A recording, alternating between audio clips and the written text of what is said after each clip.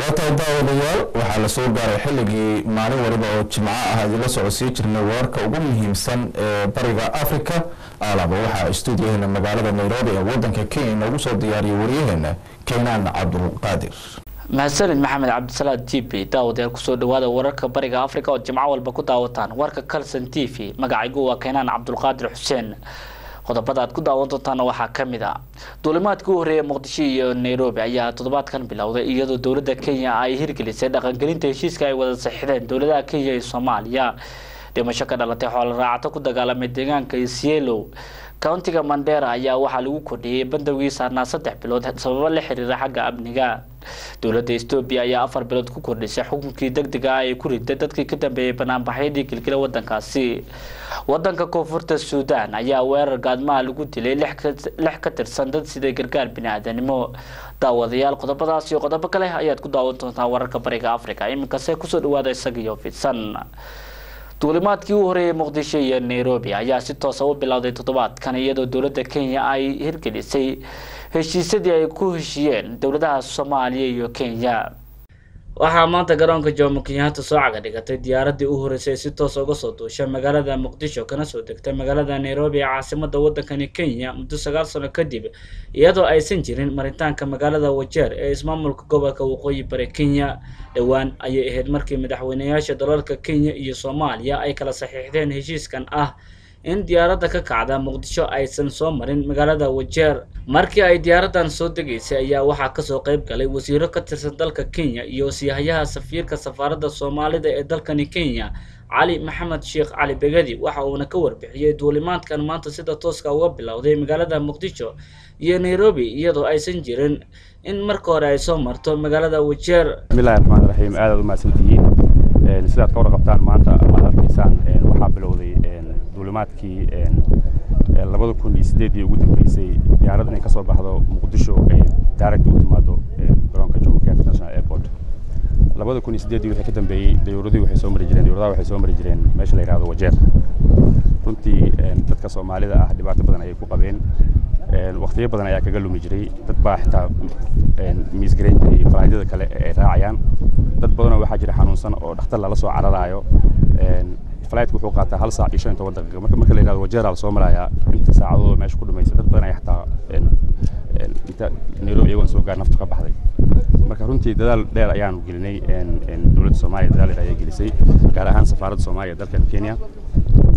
Runtii arrintan maanta bilaabatay diyaaradda daaragta halkan ka bilaabatay. Maahan wax ku yimid ciyaar ama wax ku yimid maxay ahaday dadaal badan ayaa la geliyey.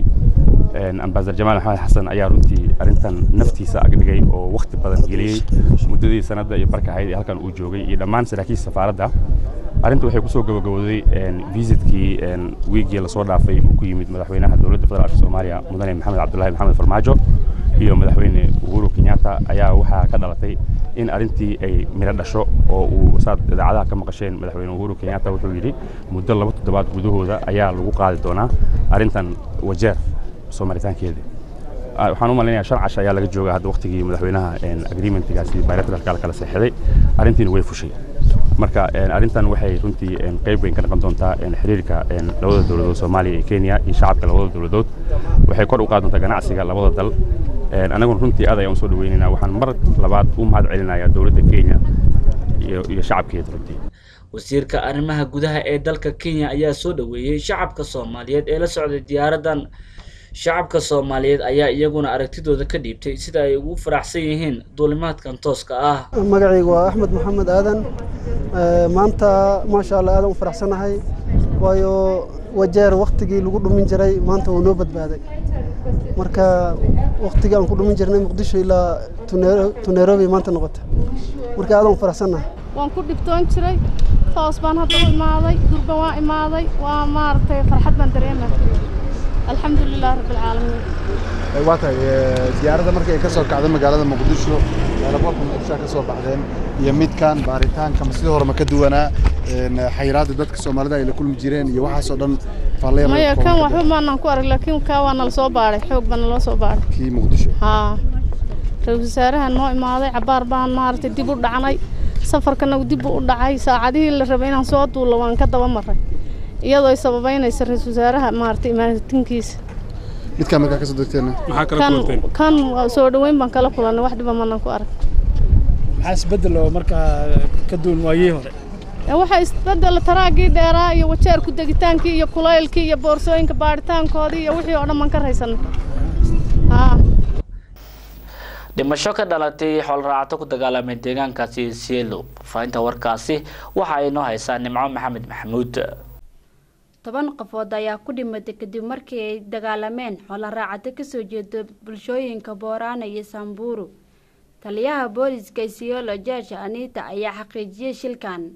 Ku-xigeenka guddoomiyaha ammaanka marti jaaliyo ismahiya ayaa sheegay inay jiraan dad ku dhaawacmay dagaalka oo subaxnimadii xadda dhacay. Mihiya ayaa xusay inay geeyeen ciidamada aagga uu dagaalku ka dhacay si ay u qaboojiyaan xaaladda ku-xigeenka guddoomiyaha ammaanka marti ayaa intaasi ku daray inay xilligaani deeqsinay u joogaan deegaanka ilaa iyo konton kun oo neef. Xoola raacatada isyelo ayaa sheegay inay weeraro ku soo qaadeen iyaga oo ka caraysan kuwa saambuuro oo xoolo daaqsanaya aaggaasi. Naciime maxamed maxamuud calson t v nairobi.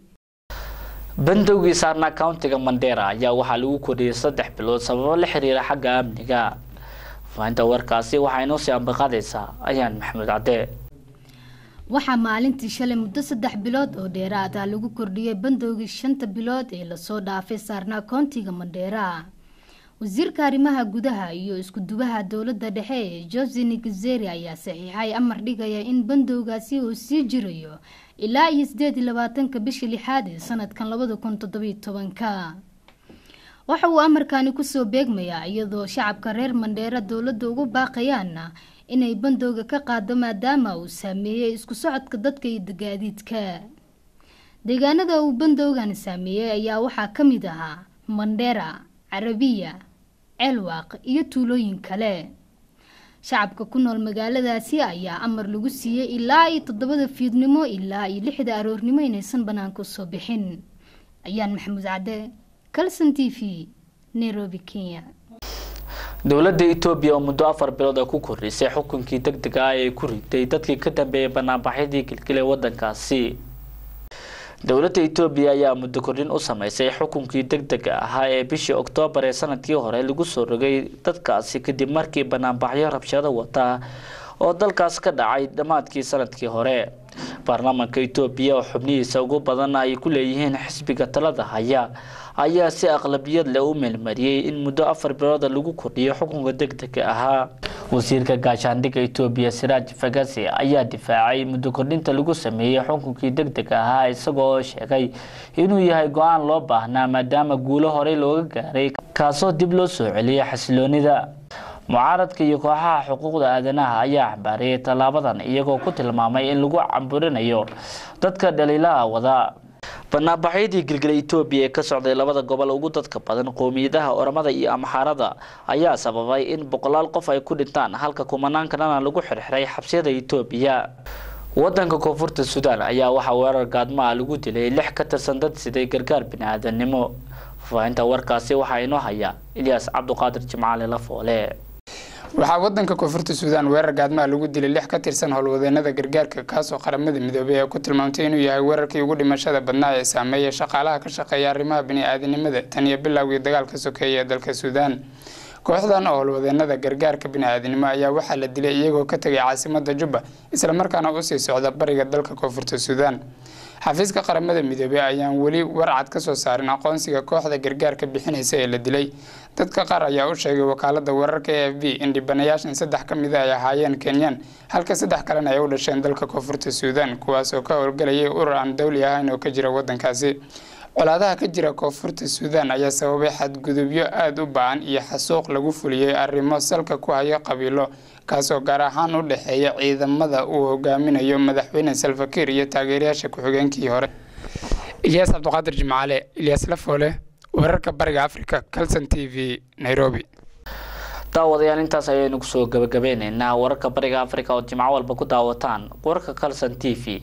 Tan iyo intaynu ku kulmi doono war caynkaanu kala ah waxaan idinkaga tegayaa sidaas iyo nabadgelyo